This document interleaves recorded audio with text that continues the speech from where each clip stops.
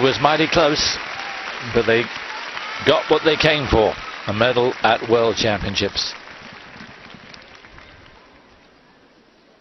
Music from Strauss, the skating from Yuko Kavaguti and Alexander Smirnov.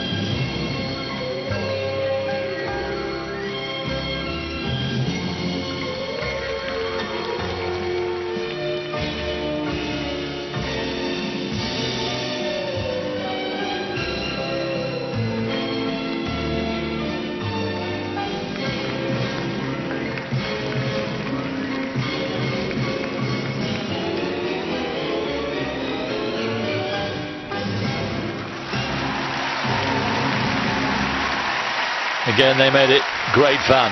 The bronze medalists in the pairs, Yuko Kavaguti and Alexander Smirnov. And I haven't seen a male body look quite as impressive as that since Chris Howard stopped skating. Dead right too. A while ago. Still gone downhill since then.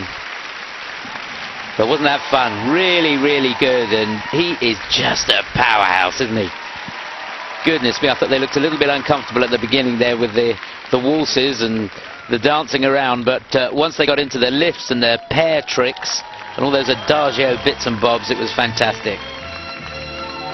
Really good to see the skaters come out and have a, a bit of fun with this gala. That's what it's all about. And no wonder they call him Tarzan.